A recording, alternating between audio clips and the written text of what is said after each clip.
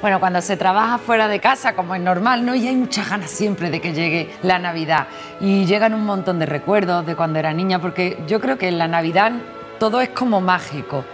Recuerdo a mis tías todas viniendo cada una con un plato, con su especialidad, eso sí, cada una. Eh, después como todos, entre todos hacemos el amigo invisible y nos damos nuestros regalitos, no sé.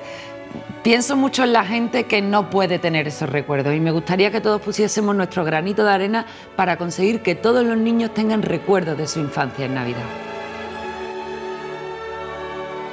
Haz realidad la magia de la Navidad. Ayúdales a mejorar sus vidas. Apadrina un niño con ayuda en acción. Canal Sur con ayuda en acción. Llama al 985 85 88 y apadrina un niño.